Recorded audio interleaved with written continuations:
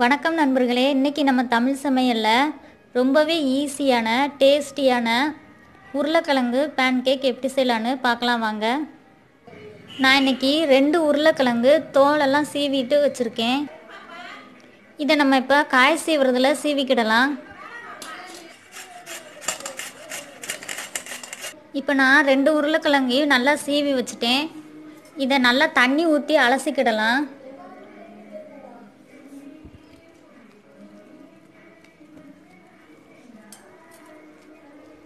இப்போ இதை நல்லா அலசிட்டு வடிகட்டியை வச்சு வடிகட்டிடலாம்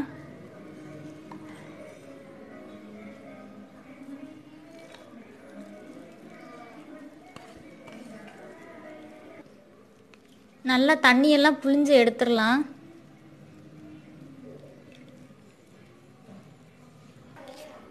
இப்போ இந்த உருளைக்கிழங்க இன்னொரு பாத்திரத்தில் சேர்த்துடலாம் ஒரு பெரிய வெங்காயம் நீல நீளமாக நறுக்கி வச்சுருக்கேன். நல்லா இந்த மாதிரி உதிரி உதிரியாக இருக்கணும். இதை சேர்த்துக்கலாம். இப்போ ஒரு முட்டையை உடச்சி ஊற்றிக்கலாம் இதில்.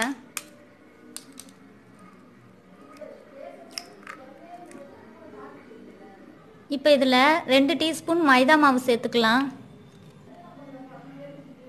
அரை ஸ்பூன் மிளகாத்தூள் சேர்த்துக்கலாம்.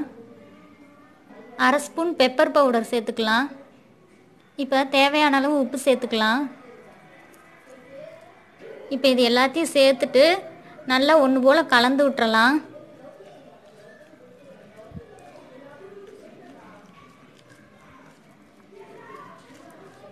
பாருங்கள் ஃப்ரெண்ட்ஸ் இது நல்லா எல்லாத்தையும் ஒன்று போல் நல்லா கலந்தாச்சு. இப்போ ஒரு பேனில் ரெண்டு டீஸ்பூன் எண்ணெய் ஊற்றிக்கலாம்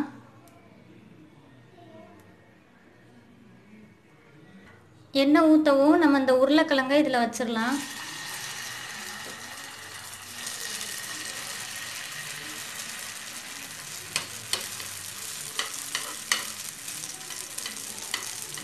இப்போ இது ஒரு பக்கம் வேகவும் நம்ம திருப்பி போட்டுடலாம்.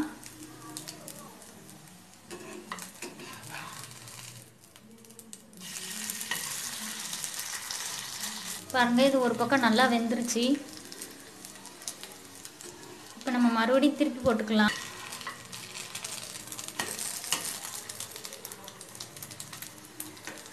பாருங்க இது ரெண்டு பக்கமும் நல்லா வெந்துருச்சு. இதை இப்போ நம்ம எடுத்துடலாம். பாருங்க நல்லா வெந்துருச்சு. இப்போ மறுபடியும் நம்ம சேர்த்துடலாம்.